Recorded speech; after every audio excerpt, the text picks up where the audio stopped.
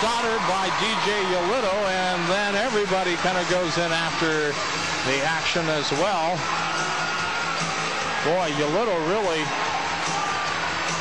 got into it, really leveled Stoddard, who now is in a battle with uh, one of the Vandermeers, Ted Vandermeer, and uh, Darrell Stoddard going after it to the right of Andy Frank.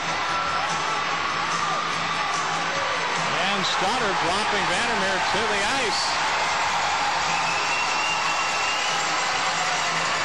So Darrell Stoddard coming up big.